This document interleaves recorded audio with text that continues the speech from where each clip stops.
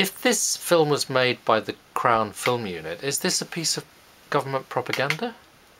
I would say very definitely not, but that I would also say that the Crown Film Unit was never designed to be propaganda, in fact rather the reverse, that uh, going back to what I said earlier about uh, there being film units attached to things like the post office and the uh, uh, the Commonwealth Office and, and, and, and, various other government organisations. Uh, but the, the idea of a government film unit had been resisted uh, partly in the face of Russian and German using the facilities of uh, cinema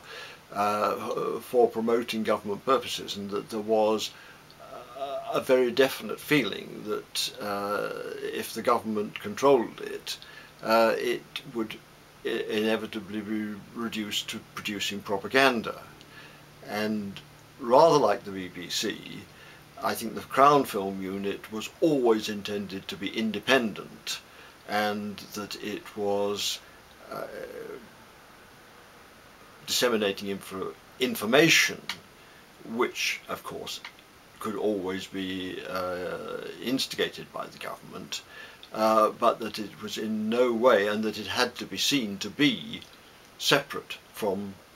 government organisations, and therefore uh, that it must not be seen as putting out the government's views.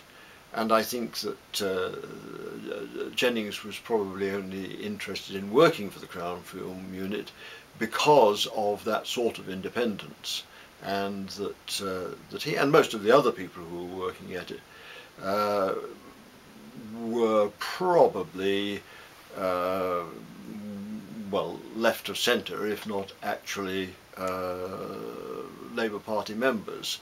uh, and that, uh, this was seen as a, a, thoroughly healthy and moreover that it, it was the only way in which